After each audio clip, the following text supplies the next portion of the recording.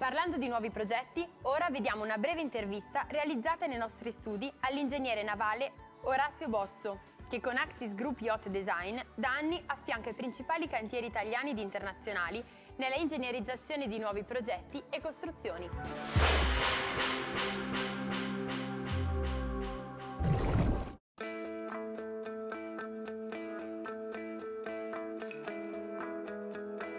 Access Group Biodesign è eh, la mia società fondata eh, dieci anni fa in Italia e eh, offriamo un servizio di ingegneria navale e di design eh, abbinato. Ai cantieri eh, noi provvediamo il pacchetto completo della ingegneria eh, per costruire la barca e una caratteristica della mia azienda è che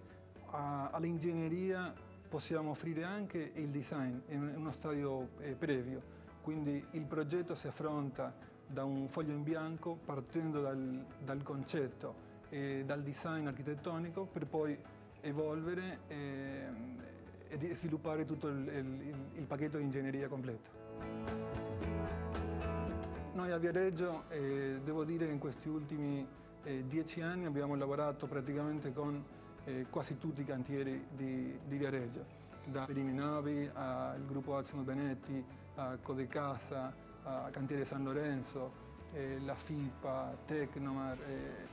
eh, ora forse mi sfugge qualcuno. e non solo a Viareggio, abbiamo anche lavorato in Francia eh, con Cantiere Chiquac, abbiamo lavorato negli Stati Uniti, in Russia e ora eh, stiamo lavorando anche in Cina con un progetto che sta partendo in questi giorni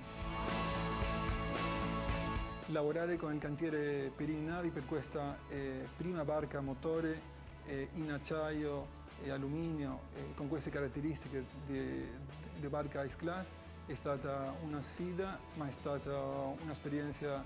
eh, molto molto positiva. Green Voyager è una, una barca che è, è, nata dalla richiesta di un armatore eh, con due intenzioni ben precise fare una barca non inquinante, una barca che eviti ogni tipo di sprechi.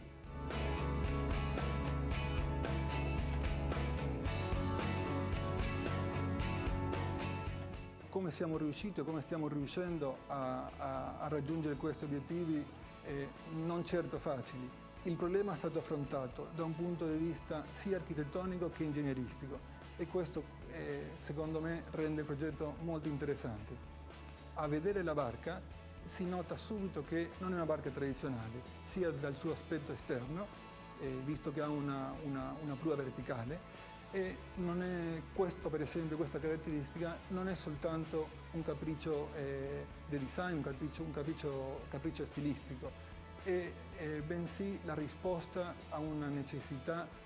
di eh, lograre maggiore efficienza nello scafo quindi c'è un motivo tecnico valido. E qual è il motivo tecnico valido? Fare, nel fare questo scafo a prua verticale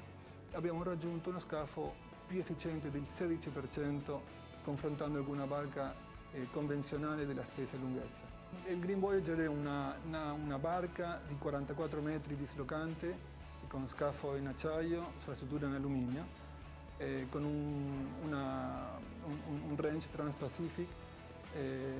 capace di fare 16 nodi e mezzo di velocità. La costruzione inizia eh, a giorni eh, a Hong Kong, nel cantiere Kingship. Io, io, sono argentino d'origine, il mio modello, il mio modello da, da, da, sempre, prima di, di iniziare gli, gli, cioè gli studi in ingegneria navale, è stato German Frers. Lo è ancora, chiaramente, che è un mio compatriota eh, per, per, quello che riguarda la progettazione di barche a vela. Dopo, subito dopo il salone eh, di Fort Lauderdale di questo anno qui, mi ha contattato lui ci siamo visti, in effetti stiamo iniziando a collaborare insieme, quindi per me questo è stato un, un, grande, un grande, onore, un grande riconoscimento al lavoro, a tutto lo sforzo e lavoro finora, finora fatto.